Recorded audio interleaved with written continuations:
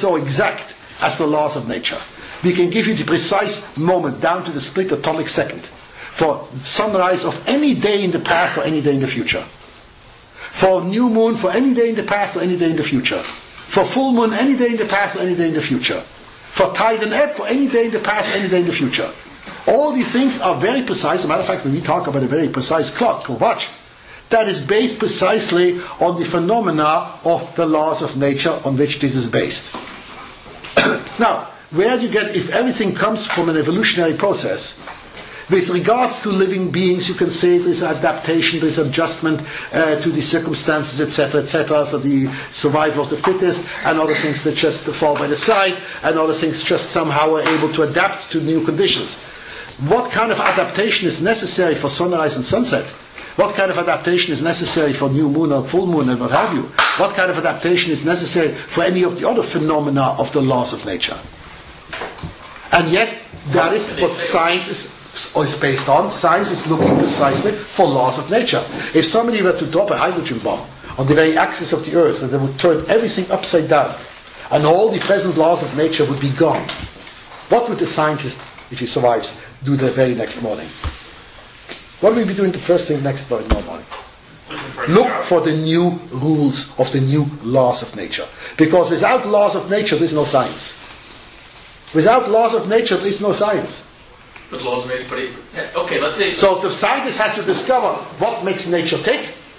Once I know what makes nature tick, now I can manipulate nature. And that's what science is. That's all science is. Manipulation of nature. That's really how we make our inventions. When I know how the system works, now I can invent these things that they work within the system. Because I cannot go outside the system. So therefore, without laws of nature, universal laws, there's no such thing as science. Now, universal laws, rules. Now, universal laws, rules, how can they just emerge arbitrarily? That makes no sense whatsoever. If something comes, if there's an arbitrary rule, if arbitrariness is the rule, then arbitrariness remains right down the system. It's universal law. We, we, they, for example, they thought universal law went when the world was square, or universal law that. Universal law? Well, I mean, not law. I mean, you know, not, not really. No, that, oh, universal beliefs means nothing. Morals. Universal beliefs means nothing. That's simply based on ignorance. Exactly. Well, That's simply based. You believes. He believes when people thought the Earth is flat, and 99% of people thought the Earth is flat, including all the greatest scientists and philosophers. Okay? Why did they say so? It made sense. Logically, it made sense because wherever I go, it's flat. I've never seen the, the world curve down. Even today, I can't see the world curve down. So therefore, it makes sense. Obviously, the world is at, at, at, at, at worst a pancake. Okay? The Gemara already 2,000 years ago, the Zohar already 2,000 years ago, said no, the world is round like an apple. For that matter, there were some ancient Greek philosophers who also said that the world is round like an apple. Okay? But they were completely outvoted by, by the majority. Um, and people have reason for that. So that is ignorance. That's not belief. That's credulity. Credulity, where you simply accept the first thing that your eye perceives, and that's the only thing that makes presently sense to me. That's how we jump to conclusions. But they want universal physical law. Like that's not a universal. Never was a universal law. When Einstein said, for example, that the, that the, that the, uh, the, the galaxy is always expanding, until then, everyone, you know, everyone thought he was wrong. So therefore, so, like, so therefore, science changes every ten years. Exactly. exactly. But so, my what has that got to do with it? I don't understand what you're getting at. Well, you're saying there's That's where, law, but there's not. No, gewollt geschehen. Universal laws, there is a certain precision in the workings of nature. That whether we know everything about nature, that's a different story. As we discover more things, we discover more, and we discover what makes things tick. Whatever they discovered so far is not wrong. It is incomplete. The proof that it's not wrong is that it worked. That's why all the inventions so far have worked as well. But we are at a standstill. As we discover something more, the technology can move further. Because now we know, oh, there's a more subtle reason for it, really. And as I know there's a more subtle reason, therefore I can develop a more subtle technology. And therefore my inventions will keep proceeding. What was till now was not wrong. It was incomplete. And we discover every day new things. Complete new, new things. And uh, the more we discover, the more we go to more uh, refined reasons, more refined rules, and therefore we can go to more refined uh, advancement and development. But we are getting off t- topic here. We started off with the question of atheism. So the atheist, what are the arguments of the atheist? If the argument is simply I did not have an empirical perception of it, then my answer is a very simple one. You have no empirical perception of so many other things that you take for granted literally every day of your life. That you stake your life on. Why? Because you see the effects. Then I can argue the same, I see the effects here as well. If you stake your argument on certain philosophical, theological problems, as for example the problem of suffering, if God exists and God is the uh, benevolent God, and God is all good, etc., etc., then how could God allow suffering and pain and what have you in this world? That, to me, is the only challenge that religion has to cope with. That is where a certain amount of faith does come in. But it's not a philosophical refutation.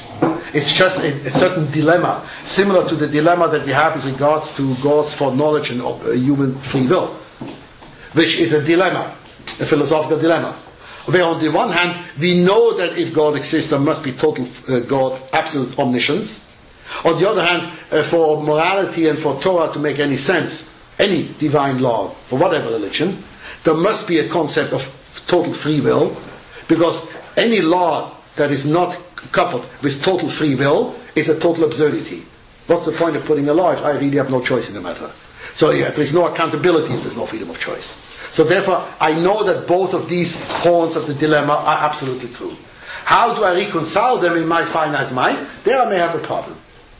A number of answers have been given, but that's not for now. But, but here is simply a contrast. Is there free choice? One simple answer is uh, simply that uh, God does not have foreknowledge.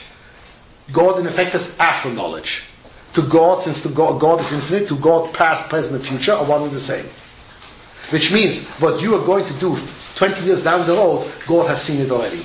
Not because He is determining it, but God is watching a video, as it, as it were. So God is watching a video of everything from day one, even from the people who have not yet been born.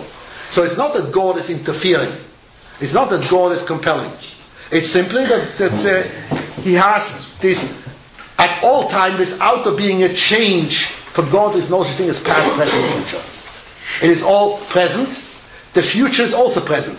And the past is also present. Now that is something, a concept which your human mind cannot possibly comprehend. Because the human mind can only work with categories of time and space. I can understand about here, and I can understand about now.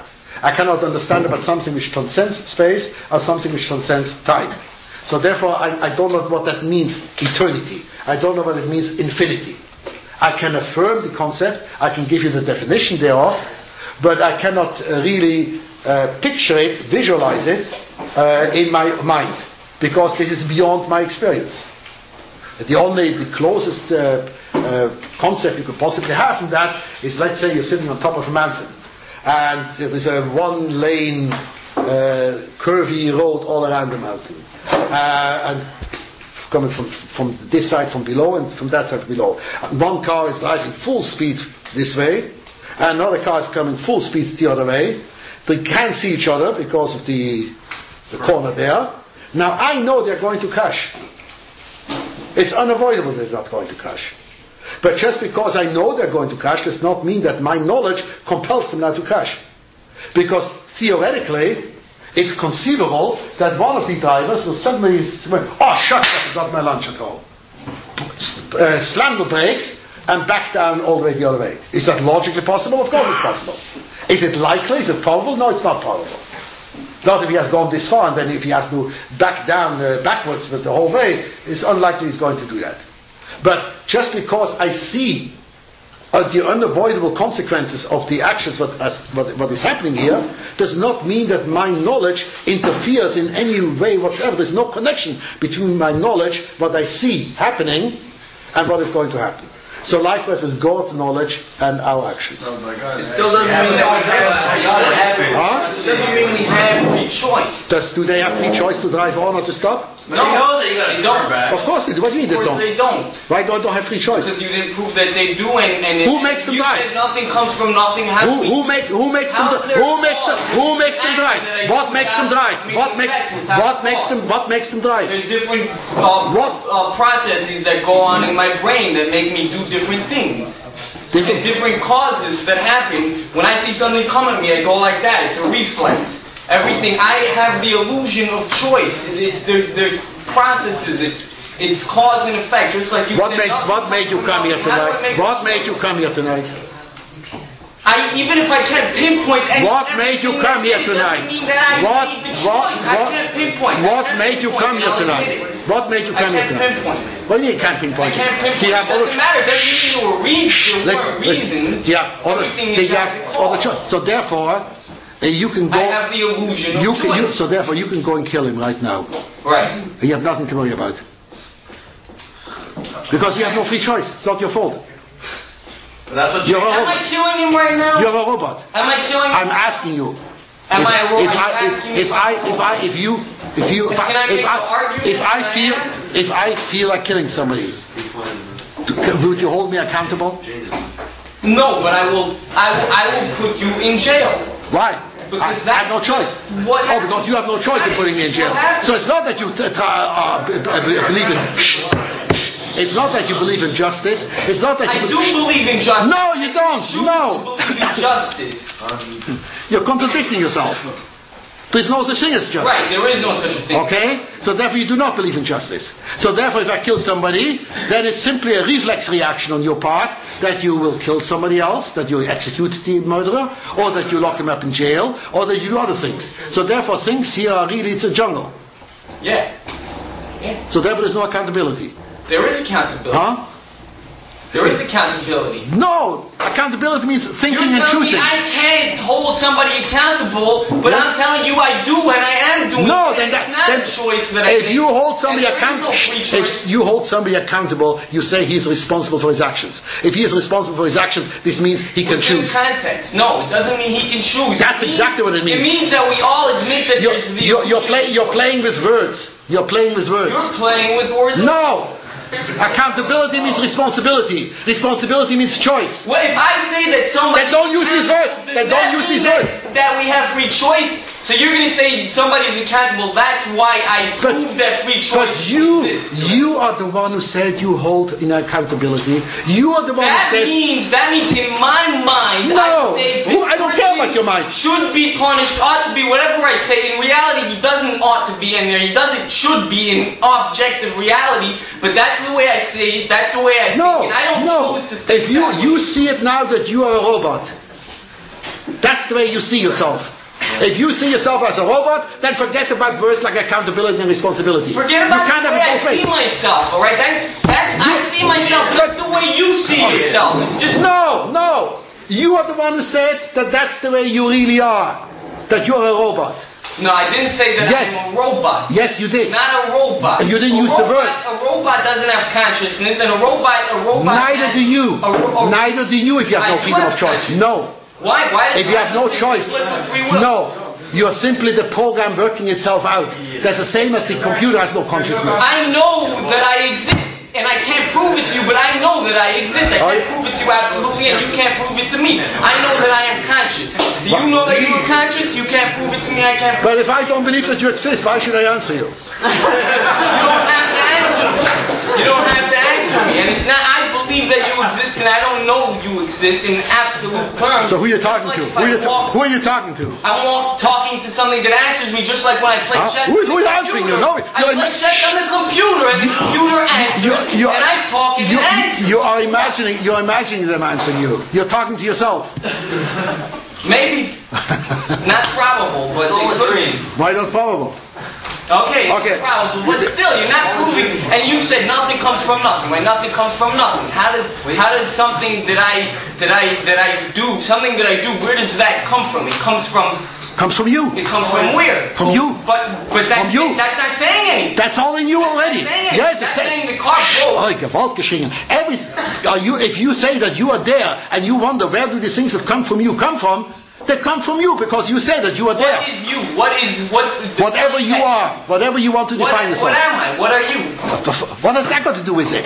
Because you're saying No, for you. I want to know what you is. No, you are you, whatever you are. X. A big question mark. Okay? That comes from you. Yes.